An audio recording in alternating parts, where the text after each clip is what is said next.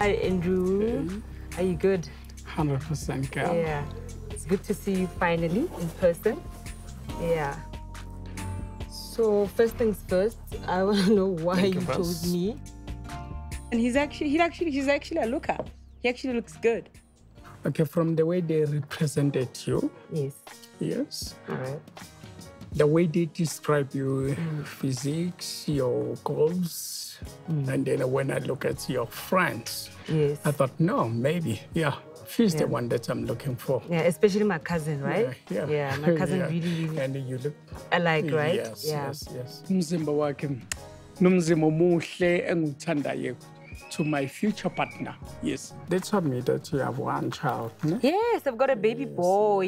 Oh, yeah, That's some, what I wanted. some- Is a boy. Okay. Yeah, it's a boy. Oh, it's a boy. Okay. How is how old he is? He's turning five in July. turning yeah. five. Okay. Yeah. Okay. So He now I have two sons.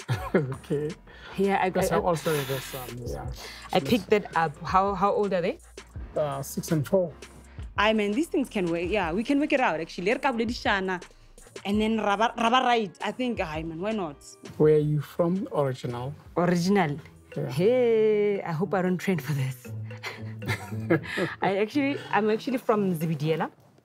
Um, it's a, it's a Limpopo? yeah, Limpopo, Limpopo. okay. Akere wa- wa kwa le wena ka mokgwa ke bolelang Yeah, jwale, go. right? Ke- ke- I'm a Pedi girl, a proud Pedi girl. I prefer myself, to, referring myself as a farm girl or a village girl, if I can say that, because yeah, that's where I started it all. Sepedi se tswa moo, ga- boragiši bo mo moo, like yeah, so yeah.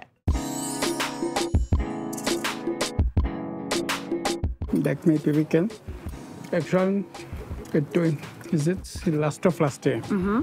I bought a piece of land in KZN. Wow, hello, visionary. Now, okay.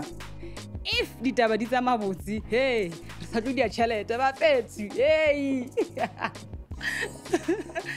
What do you plan to do with that land? Is it is it business or We can do it as a holiday home. hello? Yeah. Ash, a man with goals. ngifuna ukwenza i-holiday home as you know ukuthi umfana uba yinhloko kababa so ubaba wami as i said is from kzn so kumele ngiwakhe umuzi kababa i-kzn The, one of my cousins, rather one of my family members, they asked you about the, the, the cleaning and laundry thing. Can you tell me more about that? Because I found it very. I don't know what to use. I don't, I don't know what word to use because usually Zulu men they require a wife to be to be to be you know It's submissive and all that. okay what i was just telling them was mm. that i don't want my partner to my maid mm-hmm. i want my partner to be my partner. Mazulu nna re tseba e le umfazi uyenza kanje umfazi uyenza kanje.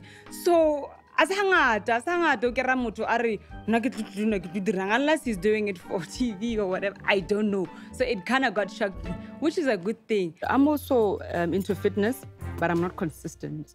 okay no okay i do have equipment eh, where i'm staying eh, so whenever you want to exercise I can come through. Okay, Yeah, bo. Yes. exercise i'll show you like that actually i like him to train me